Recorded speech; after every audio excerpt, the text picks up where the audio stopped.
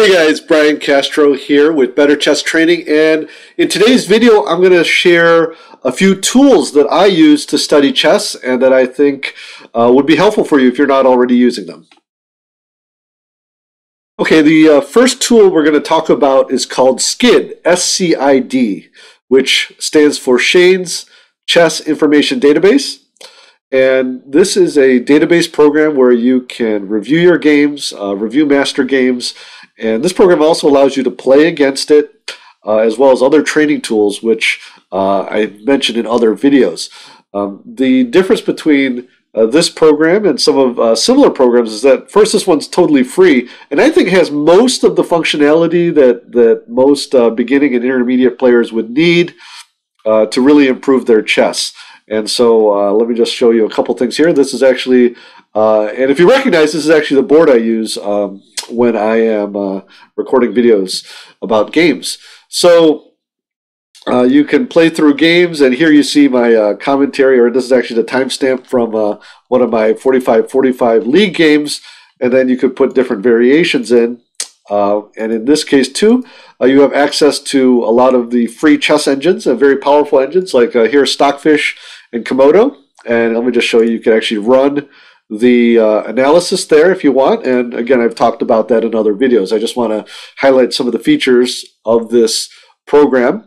Uh, and then you can put in your own comments. For example, you can uh, uh type in comments here, you know, as well as um, do, uh, let's see, like arrows and stuff like that onto um, onto your commentary. So uh, it's very nice for annotating games, and that's the main way I use it, but I also use it uh, to do some of the training options.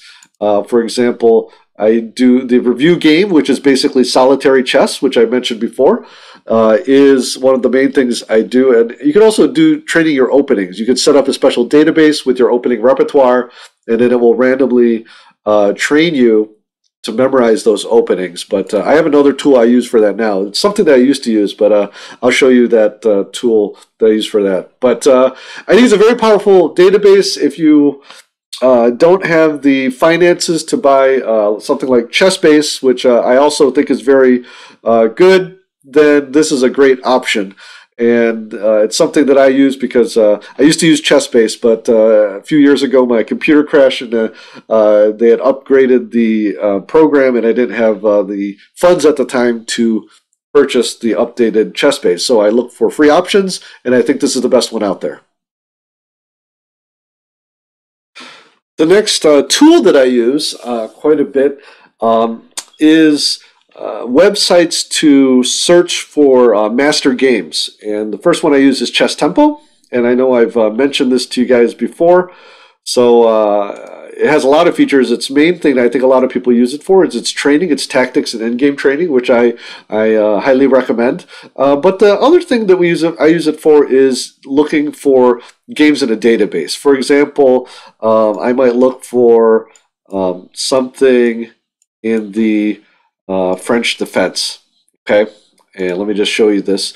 Um, I'll go down here to advanced search, and I only want to search for games, uh, say after the year 2000, and the player uh, they have to be over 2,500, for example. I want to find high level uh, games by uh, on the black side for French players, uh, more recent. So I'll search using the current position and then I'll have this whole list of games. Now, with the premium uh, membership to Chess Tempo, you can download uh, uh, a lot of games.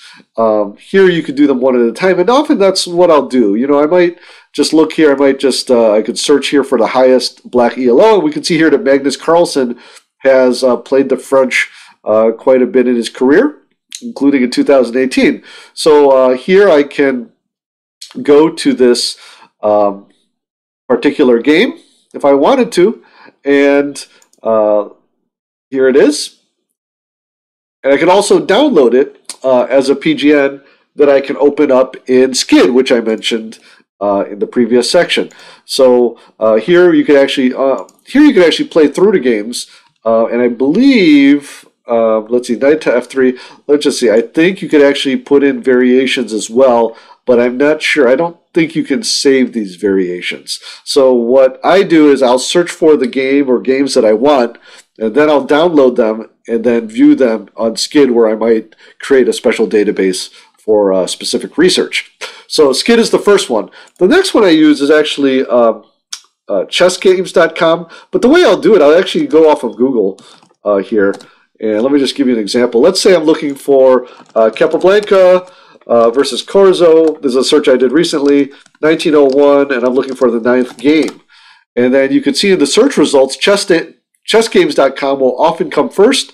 Um, looks like we've got uh, the specific game as well as I know there's a link to the actual match between Capablanca and Corzo. Uh, so let me show you that one actually. Let's click on that.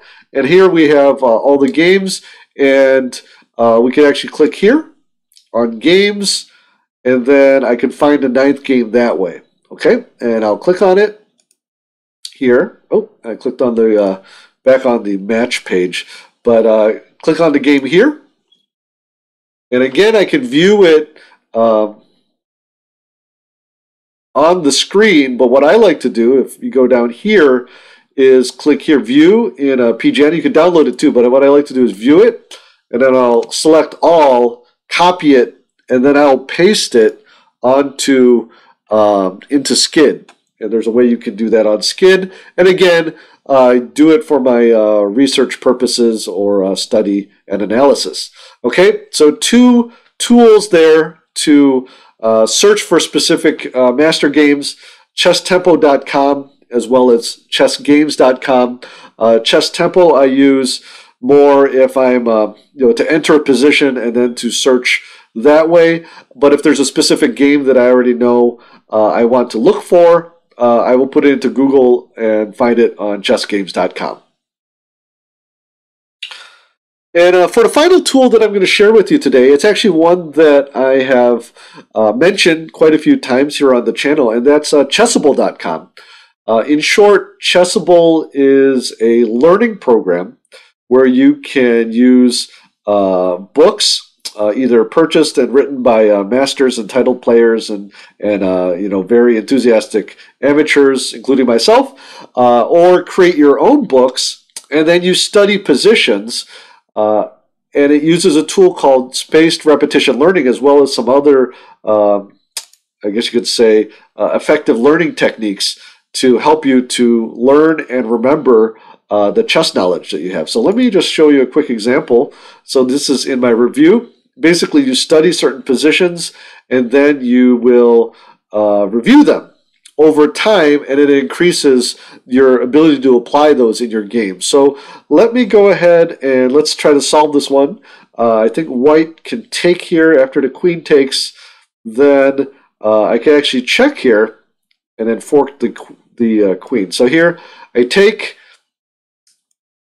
here pinning, and then I'm going to fork here. So that would be one of the, this is actually one of the positions I studied before, and what Chessable does, it will review it for you at a time that's appropriate. So when you're first learning it, it's going to review it more often, and the more um, solidly you have it in your memory, the further you know apart those intervals are going to be. But Chessable uh, used to be uh, mainly for openings, but as you can see here, it actually goes into various um, other areas of chess. Let me just uh, go back to the homepage here. And you can see there's courses for openings, endgames, strategy, and tactics. And you can see here I have several. I've got a tactics book, which I reviewed on the channel a few months ago, um, uh, endgame, as well as my own uh, uh, book I made uh, for the candidates tournament. So uh, Chessable is a, a, great tool. There is uh, it's a premium tool, so you need to pay for a subscription. There are some limited features uh, that are free, and I think you can get quite a bit out of it. Uh, the free version, but I actually highly recommend the uh, paid version because it's much more powerful, especially if you are going to build your opening repertoire uh, using Chessable and that is what I use to study my opening repertoire as well as uh, these other uh, chess ebooks. Okay, so that is that. I'll put the link in that in the description, and I hope you check it out. Uh, hey guys, I hope you enjoyed those tools.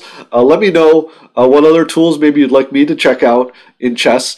um, I think the key here, uh, the reason I, I, I, put these out is that uh, whether you use ChessBase or SCID, uh, it's important to have a place where you can store your games as well as any analysis you do of uh, master games so that you can go back and review them.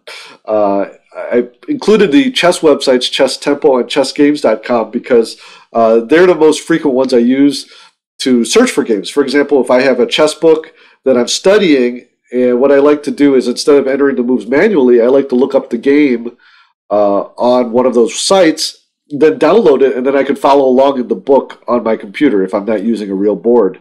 and finally, uh, Chessable.com. I uh, did a review for it uh, a couple years ago on my uh, blog, betterchesstraining.com. But since then, they've improved the program quite a bit. And so, uh, probably the next month or so, I probably want to do an updated review here on this channel as well as on uh, the website. But um, as some of you may know, I've actually uh, written a couple articles for uh, the Chessable blog. Uh, but since getting to uh, know them, I, I, really come to enjoy using that tool. So, highly recommended. These are tools that I use every day in my training. And hopefully, if you don't have something that fills those roles in your own training, that you can check those out. Okay, uh, the links will be in the description. And if you are new to this channel, uh, I talk about uh, basically chess training, uh, including analyzing games, uh, but I also talk about training techniques and like in this video training tools so if that's something that might help you to improve your chess consider subscribing and if of course if you enjoyed this video uh, please hit that like button and consider sharing it. I hope you have a great day and good luck with your chess.